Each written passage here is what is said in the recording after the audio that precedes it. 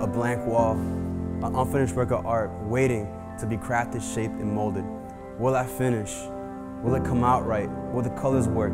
So often we look at the unfinished work rather than the one foretold. Behold, I was lost, now I'm found. You see, I used to live a life muffled by sound, trapped by the worries of life, incarceration, a blind beggar crippled on the street corner, no vision, no future, no direction. All I could hear was the world shouting its lies. You're not good enough.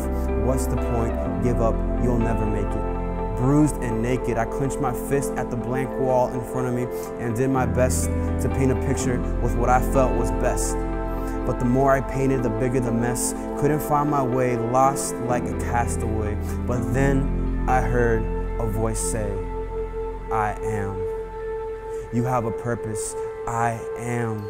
You are fearfully and wonderfully made. I am. I have not given you a spirit of fear, but of power and love. I am. I paid a price for you because I see value in you. I am the great I am. Get up and walk.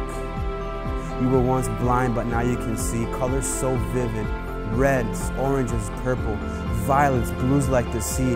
No longer do I live in the cold. Outside, like the month of May, my eyes are open to the truth, the light, the way. Now, I can stand beside the King of Peace and gaze at the finished masterpiece.